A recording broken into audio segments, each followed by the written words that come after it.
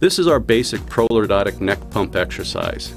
It acts as our warm-up exercise. It should be done first before any of the other exercises. Start by holding the prolordotic neck exerciser behind the neck as shown. Keep the palms of your hands pointed outward and slowly extend both of your arms forward, relaxing and allowing your neck to be pulled forward at the same time. Try to fully extend your arms, thereby pulling the lower neck fully forward into flexion. If any neck or upper back pain is felt during the extension of your arms, stop at that point. Over time, you should be able to go further and further without pain. Once the lower neck is pulled into full forward flexion, actively pull your head into full extension, thereby completely stretching out the front neck soft tissues. Only pull your head into full extension if it can be accomplished in a pain-free manner. If any pain is felt before full extension, stop at that point. Again, over time, you should be able to go further and further without pain. Your fully extended hands can be slightly moved backward and forward with your head extensions to create a pumping motion to the exercise.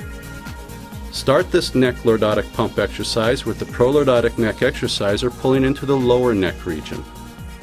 After three or four repetitions, change the position of the exerciser and the anterior or front angle of pull so that you are pulling into the middle neck region. After three or four repetitions, again change the position and anterior or front angle of pull so that you're pulling into the upper neck region.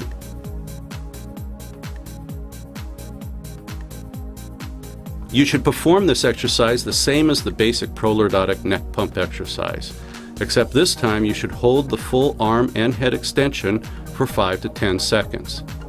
And then repeat this exercise into the lower, middle, and upper neck, just like you did with the basic prolordotic neck pump exercise.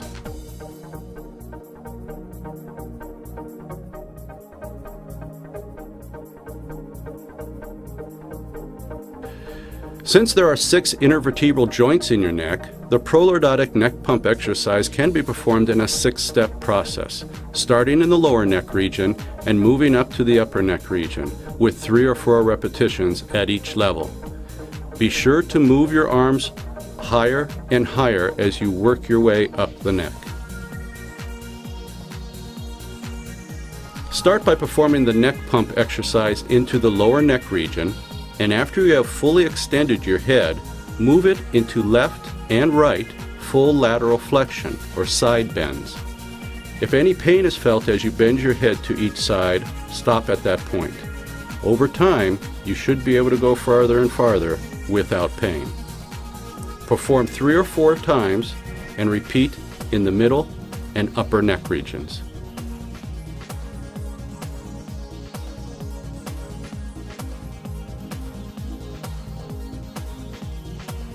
Start the neck pump exercise into the lower neck region, and after you have fully extended your head, move it into left and right full rotation. Again, if any pain is felt as you turn your head, stop at that point.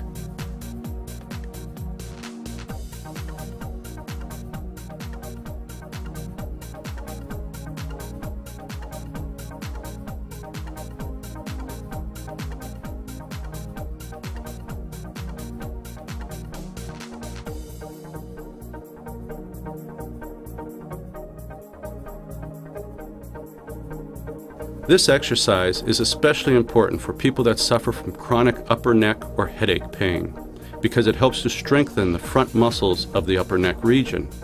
Research has shown that people with chronic headaches usually have a weakness of these muscles.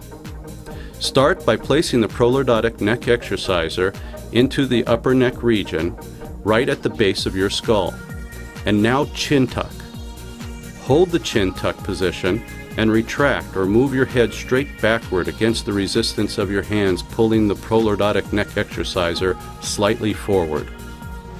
Your hands can be slightly moved backward and forward with your head retractions to create a pumping motion to this exercise. Repeat 10 to 12 times. These last two exercises should only be performed if you have a flattened upper thoracic back region. and or retracted shoulders. Do not perform these last two exercises if you have an increased side curvature of the upper back region. Start by performing the neck pump exercise into the lower neck region, and after you have fully extended your arms, keep your head level and flex or arch your upper back like a cat arches its back. Hold this upper back stretch for 5 to 10 seconds and relax.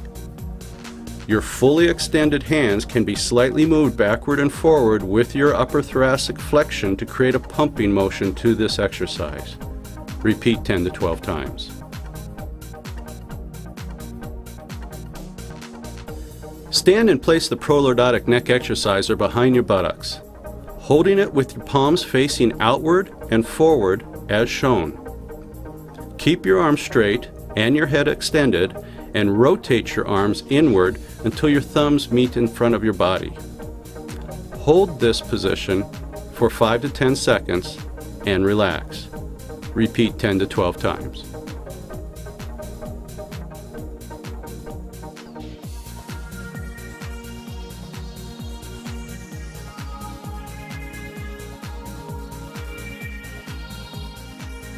It is not uncommon to experience some soreness of the neck and upper shoulders after starting to perform these exercises.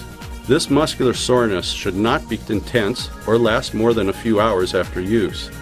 If your reaction is more severe, you are probably performing the exercises too aggressively or doing too many repetitions. If reducing the repetitions and the force does not reduce your post exercise soreness, discontinue use and consult your doctor or therapist.